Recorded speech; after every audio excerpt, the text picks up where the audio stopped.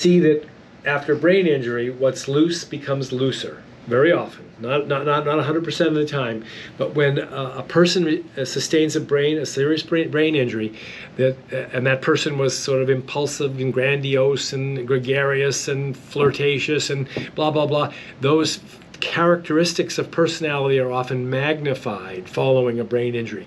Now, that's not to say that occasionally a person might be tamed somewhat and, and, and uh, calmed down somewhat by his or her brain injury. That has happened. And th- that they become apa- uh, um, apathetic, they don't initiate, and they're very abulic.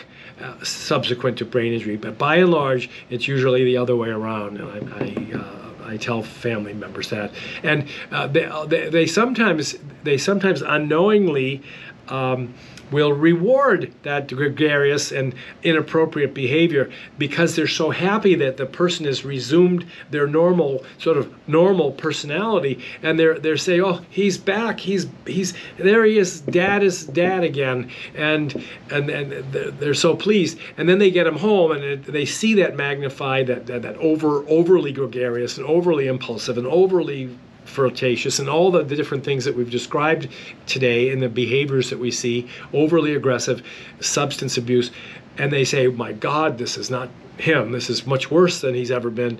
And so there is that, that pre pre personality, pre injury personality. Intelligence and learning style are important to remember.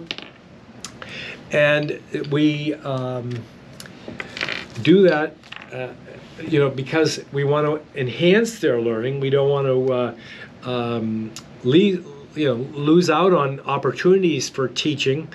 Um, can you hear me now, guys?